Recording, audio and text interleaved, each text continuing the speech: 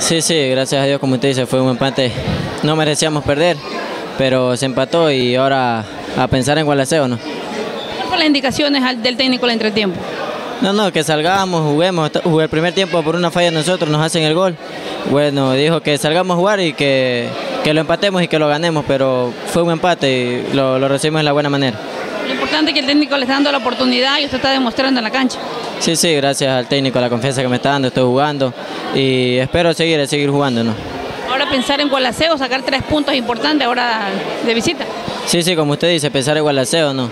A sacar los tres puntos en casa, allá en Gualaceo y Dios quiera y traer los tres puntos. Un saludito para los hinchas de Orense y también para eh, Salcedo Deporte. Sí, sí, un saludo a la, a la familia Orense, eh, a Salcero Deporte y a mi familia también. Que Dios los bendiga.